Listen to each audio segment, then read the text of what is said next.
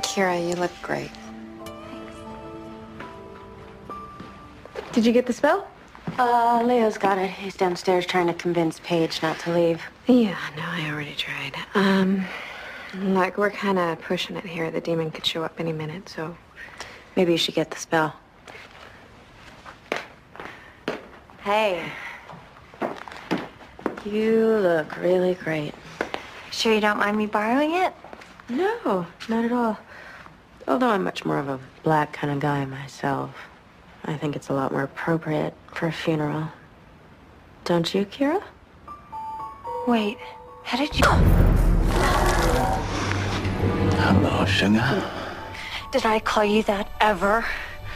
What I meant to say was, hello, swirling particles of scum. You always were amusing. But still, I can't allow you to betray us all just to save your own ass.